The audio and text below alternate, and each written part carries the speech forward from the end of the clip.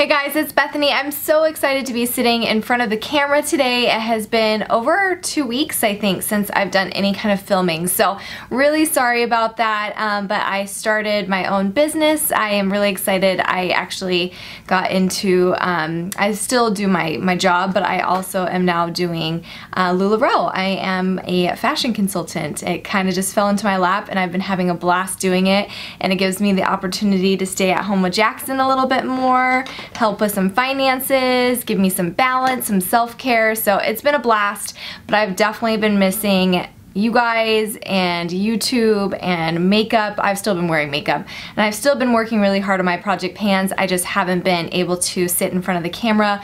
Been trying to organize everything with the um, business. So um, if you guys are interested, I will do kind of like a style haul type of thing um, just to kind of share with you guys what LuLaRoe is, but I have a whole separate channel just for that. So this is still gonna be my beauty channel and I will get into bringing you guys at least one to two videos every week again. I have a whole list of things that I need to film, so you'll start seeing those come up very soon. But I wanted to first start off with my Pan That palette update number 10.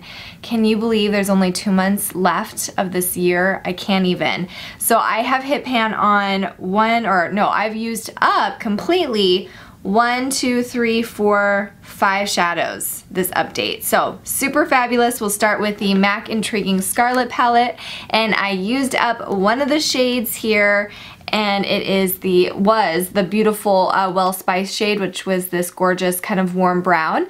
I finally used that up. I was using that pretty consistently as a shadow, a bronzer, um, you know, definitely a good crease shade, and finally used it up. And then um, you'll see more on the pictures, but I did extend the pan over here on this shade, the uh, Gentle Heat shade.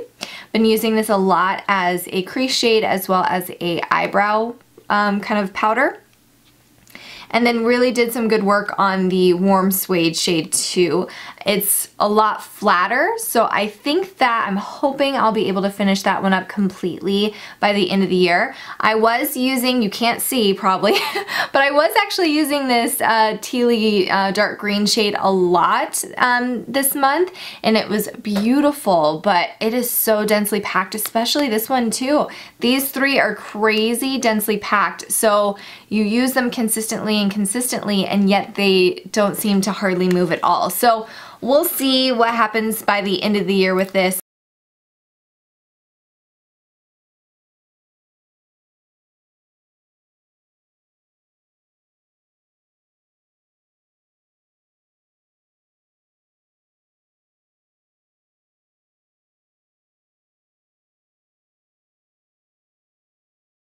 I used up that really beautiful highlight shade that I was using right here in this Maybelline Pink Punch palette. And I have gone past the halfway mark on that purple shade.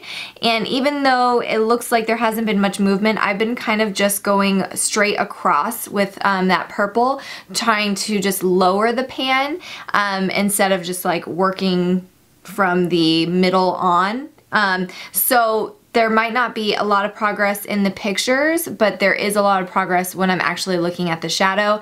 And I hope to have this done by next update and definitely by the end of the year. This palette I actually have been the most sad about using up. It was such a pretty palette and just gorgeous shades. I really loved how like warm and rosy all of those colors were.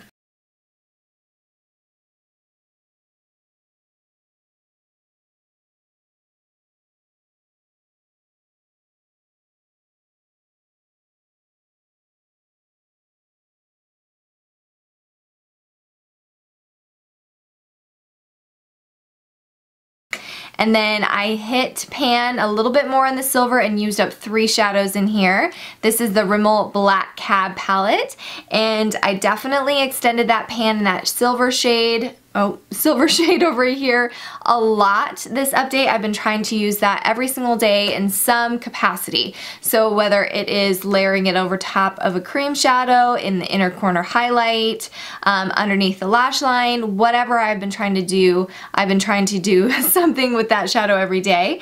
And then I used up these shades over here completely. So that black, that kind of light taupe, and then that darker kind of um, like charcoal shade. I used all three of those.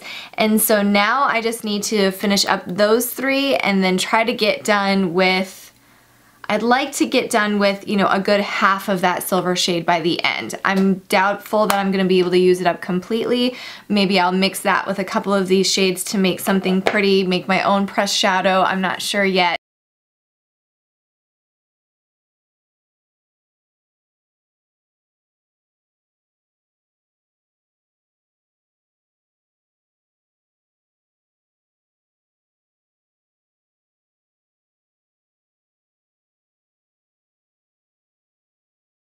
Not 100% sure yet what I'll do with kind of the leftover shadows that I'm not able to finish by the end of the year and I've already kind of been looking through my collection to kind of eyeball what I think that I will pick for my Pan That palette of 2017. We're In the home stretch, only a couple more um, months left. I am in the process of catching myself up on all of your guys' videos and Pan That palettes and project pans and just everything in general. Because not only have I missed chatting with you guys, but I've also missed watching your guys' videos. I'm so far behind. I feel feel like I feel like I haven't been like in the YouTube world in like months. And yet again it's only been a couple weeks but gosh you know I'm so used to being on here on such a regular basis that it feels like so long. But excited to be back. This definitely you know is something that helps with my self-care and is my passion and I just love it.